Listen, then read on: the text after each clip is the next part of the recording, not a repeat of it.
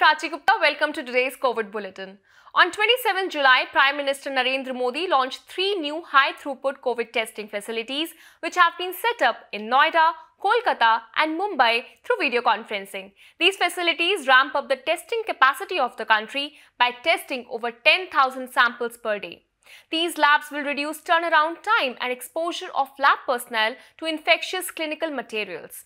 These labs will not remain restricted to testing of coronavirus but will be expanded to testing many other diseases including hepatitis B and C, HIV and dengue in the future.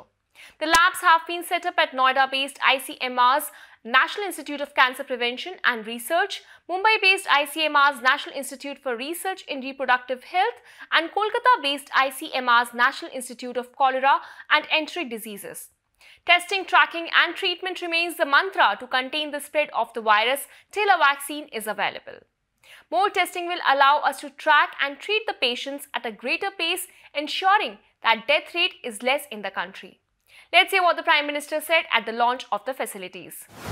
Jin hi-tech state of the art testing facility का launch हुआ है उससे पश्चिम बंगाल महाराष्ट्र और उत्तर प्रदेश को corona के खिलाफ लड़ाई में और ताकत मिलने वाली है।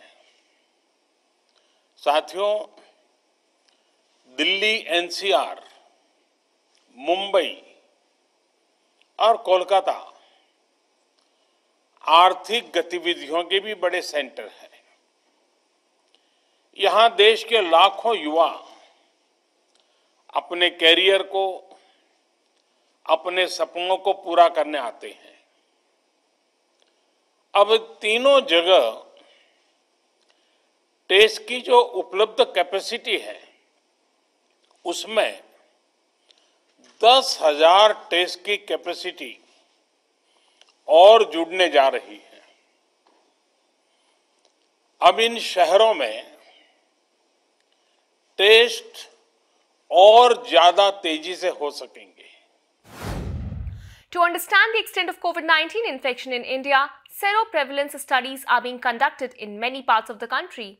The data received through such surveys will help us in understanding the percentage of people who have already been exposed to COVID-19 and have been recovered. One such study will now be conducted in Mumbai for which the scientists from the DBT's Faridabad-based Translational Health Science and Technology Institute and other Mumbai-based institutes would work together. The study will help to estimate the prevalence of the current and the past COVID-19 infections. It will cover various representative communities in Mumbai at different time intervals, apart from understanding how the infection has spread in the city over time.